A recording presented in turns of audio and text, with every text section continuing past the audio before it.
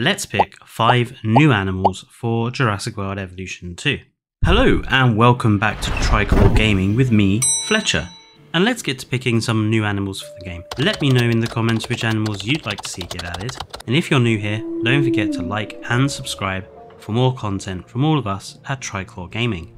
So let's get started, and start with one of my favourite animals, Saltasaurus is a sauropod from the late Cretaceous period found in Argentina. For a sauropod, it's fairly small, only around 12 meters long and about twice the height of a human. What makes this small sauropod special is that it's the first sauropod discovered that had bony osteoderm-like armour on its back, making it a genuine armoured sauropod. I think this would be a great addition to World Evolution 2, as not only is it a smaller type of sauropod, fitting somewhere between Amargasaurus and Diplodocus in terms of size, but the fact that it has armour makes it rather unique. I can imagine it having some cool animations with hunting packs thanks to this armoured plating. The next animal I think would be cool to have in game is the aquatic Cymbospondylus. This early member of the Ichthyosaur family is one of the largest Mesozoic sea creatures, measuring an estimated 17 meters long, and comes from the Triassic period. This animal would give the Triassic period some more representation in game, which is something we need, and would be another huge animal to have alongside the Mosasaurus and the Kronosaurus, so we could possibly have it eating from the shark feeders. It also has a bit of name recognition, being present in the Walking with Dinosaurs special Sea Monster monsters. Third creature I think would be a good addition is the Protoceratops. If there is something to be critical about the species in JWE2, it's that a lot of them are all pretty big. I personally think we need some smaller species in the game. Protoceratops is a ceratopsian dinosaur that hails from Mongolia. One of the most famous fossils of the Protoceratops has it in a death grip with a velociraptor. Only about the size of a sheep, it would make for a great addition to our parks, a small social dinosaur that wouldn't require a huge amount of space for an enclosure. I can also imagine it having some very nice skins thanks to its frill.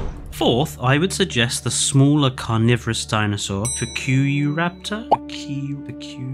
Fourth, I would suggest the small carnivorous dinosaur Fukuiraptor. This Megaraptorian theropod dinosaur would be around 5 meters long and about as tall as a person. This would be another small dinosaur like Protoceratops that would not require a huge enclosure and would be fairly easy to look after. However, the main reason I think this dinosaur would be cool to have in game is that it's one of the few dinosaur species that comes from Japan. In terms of representation of countries in the game, Japan is not one that's currently on our maps. I could imagine this dinosaur having quills or feathers and some nice vibrant skins and patterns. The final creature that I'd like to see get added is another animal from the Triassic period, the Prosauropod Plateosaurus. This enormous relative of the sauropod family would be the first of its type of dinosaur in the game, and it would also bring further representation of the Triassic period to a game that is lacking it. Just from a personal standpoint as well, it's one of the few animals we don't have yet from walking with dinosaurs, so um, it would be nice to, to have finished all of them.